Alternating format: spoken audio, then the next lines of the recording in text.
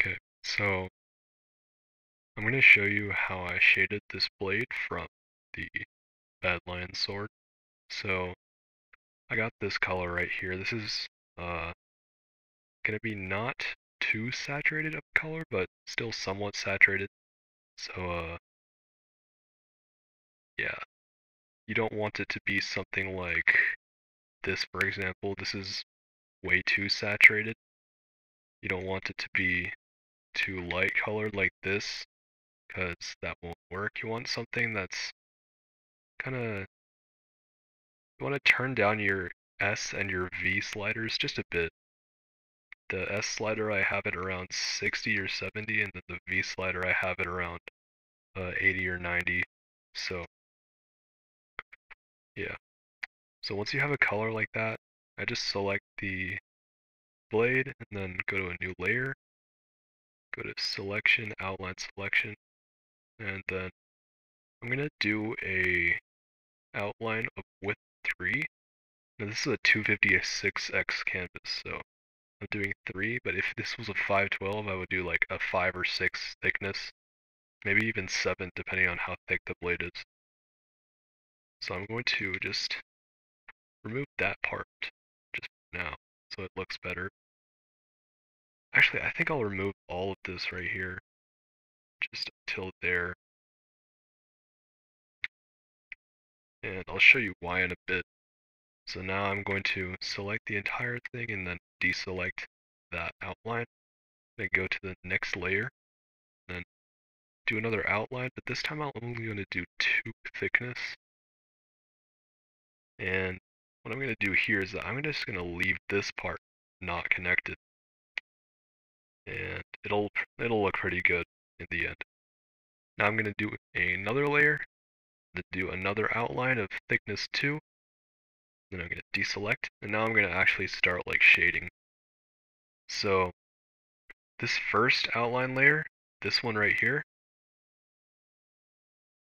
I'm going to select it, change the blending mode to overlay, and then I'm going to duplicate that layer so now you can see it's super dark and blue.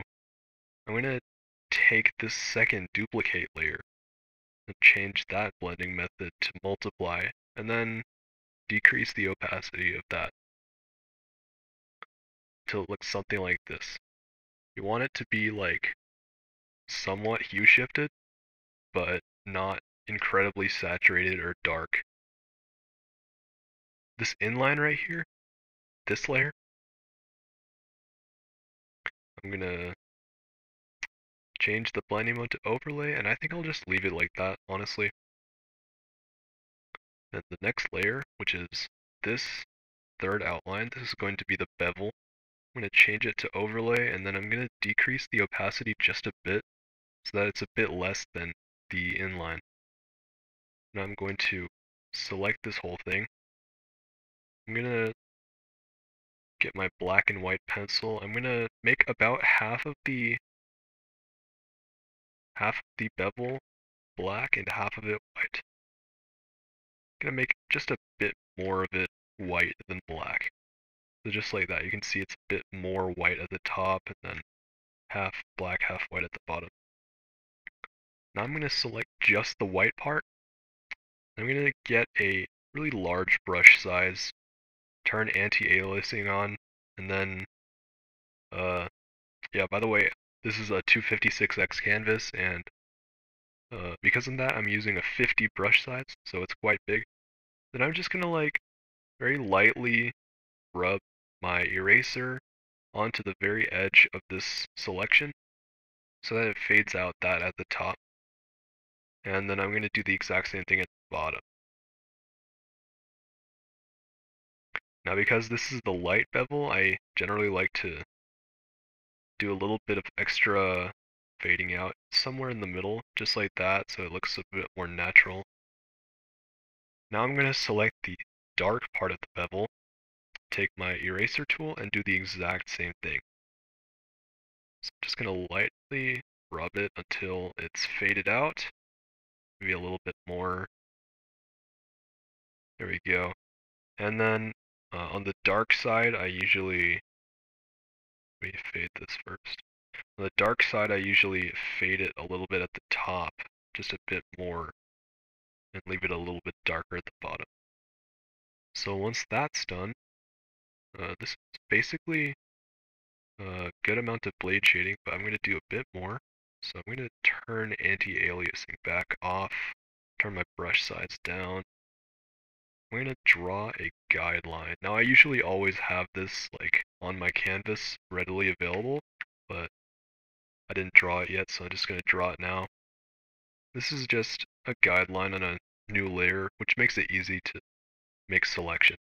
So I'm going to select this entire blade, then I'm going to deselect half of it. So I'm only getting half of the blade, and this is the right half. I'm going to go to a new layer, make that layer, make that selection black, and then I'm going to turn this layer to overlay, change the opacity of that until it looks somewhat like that. I think that looks good. After that, I'm going to go to select the entire blade again, just like that. Go to a new layer, and with the gradient tool and black and white, just go to gradient from left to right. Just like that. I'm going to turn that layer to overlay as well. I'm going to turn down the opacity so that doesn't get too saturated. I think that looks good. And then one last time I'm going to select this entire blade, go to a new layer, get my gradient. This time I'm going to have it mirrored, linear reflected. I'm going to do something that looks like this, and should look pretty good. So I turn it to overlay, decrease the opacity, and there we go. That is basically how I do my blades. As you can see, it looks really similar to the one I just made. Almost exactly identical, actually. That's pretty funny. So, uh, yeah, that's basically how I make my blades. This, uh, .pdn will be in the description if you want to go check it out. And uh, yeah, see ya.